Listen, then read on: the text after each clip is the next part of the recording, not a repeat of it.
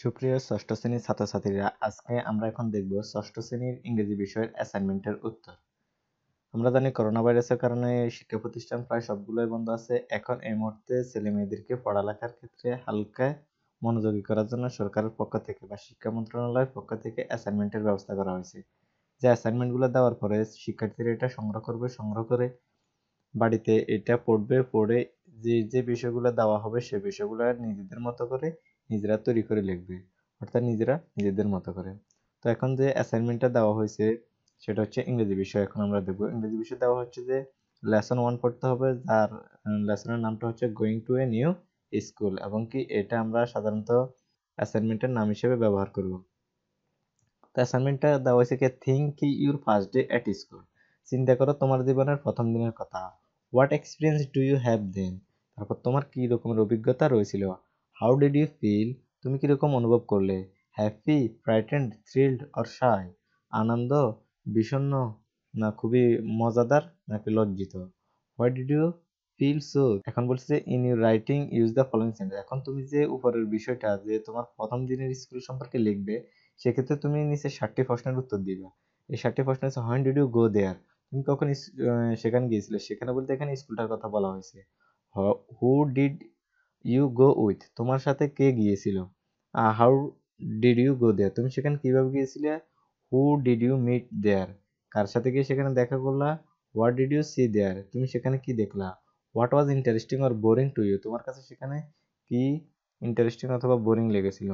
তারপর হচ্ছে how did you feel after returning বাড়িতে আসার পর তোমার কীরকম অনুভূতি হয়েছিল? এই বিষয়ে একটি প্যারাগ্রাফ লিখবা। তো এখন ইনস্ট্রাকশন ইনস্ট্রাকশন কিছু দিয়ে দেওয়া আছে, তারপরে কীভাবে কীভাবে, কি করতে হবে এটা দেওয়া আছে। তো আমরা এখন সরাসরি উত্তরে চলে যাব। উত্তরটা আমরা সংগ্রহ করে রাখছি এখন গিয়ে। এখন যে আমরা ফার্স্ট ডে এট স্কুলে গিয়ে প্রথম দিন আমরা কি কি করেছি, তা আমরা দেখব।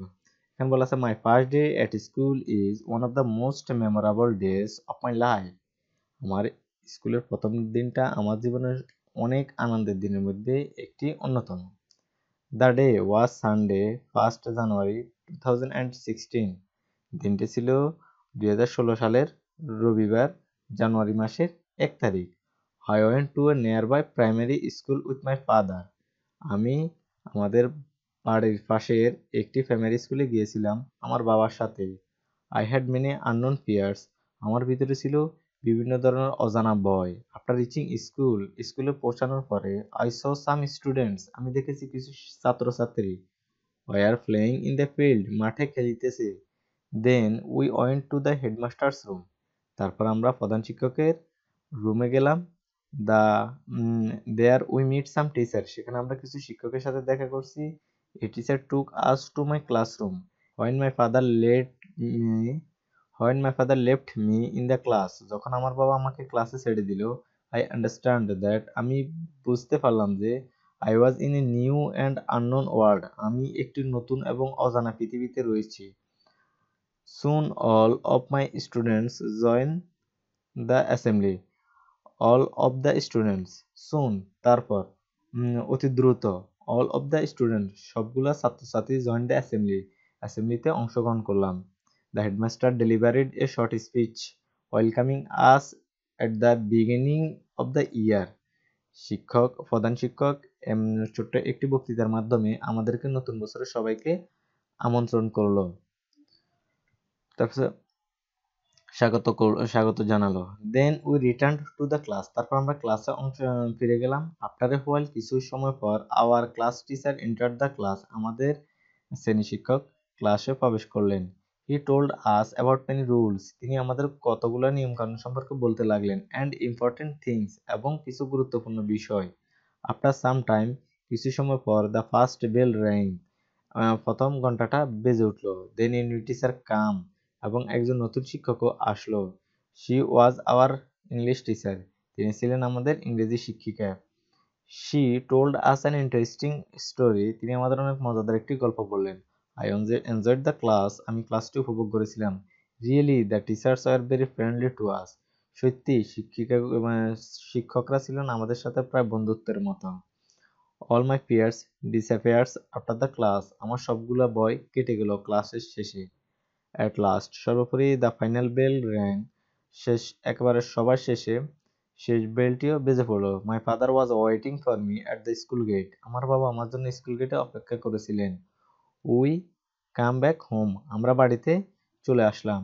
I will never forget the sweet memories of the first day at school আমি আমার জীবনের যে প্রথম দিনের এত আনন্দকর মুহূর্তগুলো জীবনে কখনো ভুলতে পারব না। তো ছাত্রছাত্রীরা সুপ্রিয় শিক্ষার্থীরা, তোমরা যারা এই ভিডিওটি এখন দেখেছ, তারা চাইলে এখান থেকে সরাসরি উত্তরটি সংগ্রহ করে লিখে দিতে পারো তোমাদের অ্যাসাইনমেন্টে আরেকটা বিষয় আছে যেটা আমরা এখন দেখব। প্রশ্নটা আরও কিছু কথা বলে দেওয়া আছে। যেমন ইনস্ট্রাকশন বা শিক্ষক, শিক্ষিকাদের ক্ষেত্রে যে বিষয়টা বলে দেওয়া আছে, তা হচ্ছে when teaching the learning of the lesson is done যখন শিক্ষা এবং শেখানো এবং শিক্ষা শেষ হয়ে যাবে give this assignment to your student তোমার ছাত্রছাত্রীদেরকে এই অ্যাসাইনমেন্টটি প্রদান করো। Instruct your student to reflect on their own life তাদেরকে উৎসাহ প্রদান করো তাদের জীবনী সম্পর্কে এখানে তুলে ধরার জন্য। And experience rather than copying from any sources এবং ওটা বোঝাও যে কোথাও থেকে যাতে কপি না করে। If two or more assignment are similar যদি দুই অথবা একাধিক লোকের অ্যাসাইনমেন্টগুলো সিমিলার বা একই রকমের হয় আক্স your student to submit resubmit it তোমার ছাত্রছাত্রীদের বা শিক্ষার্থীদেরকে বলো নতুন করে আরেকটি আবার সাবমিট করার জন্য, অর্থাৎ দ্বিতীয়বার কাজটা জমা দেওয়ার জন্য। একরকম কারোর সাথে যাতে কারও না মিলে। তো ধন্যবাদ। তোমরা যারা যারা ট্যালেন্ট আছো বা যারা যারা বুঝো বা যাদের শিক্ষক আছে টিউশন শিক্ষক বা প্রাইভেট টিউটর আছে, তারা প্রাইভেট টিউটর বা বড় ভাই থাকুক বা বড় মা বাবা শিক্ষিত থাকুক, তাদের কাছ থেকে নিজেরা নিজেদের মতো করে একটা অ্যাসাইনমেন্ট জমা দিও। তো ধন্যবাদ সবাইকে এতক্ষণ সাথে থাকার জন্য।